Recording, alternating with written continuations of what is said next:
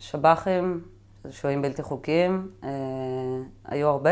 אני חושבת שאני נתקלתי בהם ספציפית הרבה בגזרה, בגלל שזה היה חלק צפוני ויחסית פרוץ נקרא לזה, שהם יכולים לנסות לעבור את הגדר ולהיכנס לישראל.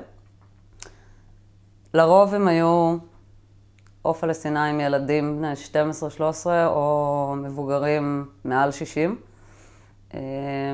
וכשהם הצליחו להתחמק ולעבור דרך הגדר, אז התנהל מרדף מאוד אינטנסיבי מסביב לקיבוצים בצפון הרצועה.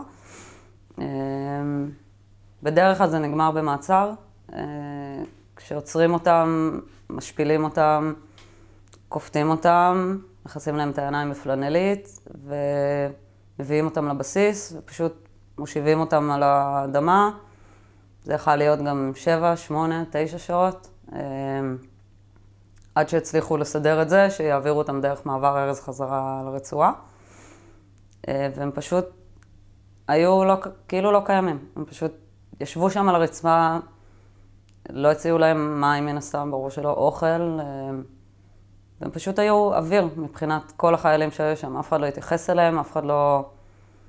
כאילו זה היה נורמלי שיש לך שישה או שבעה גברים שיושבים כפותים על רצפה ולא רואים, ובשיא הקור בחורף, זה היה כאילו מחזה רגיל.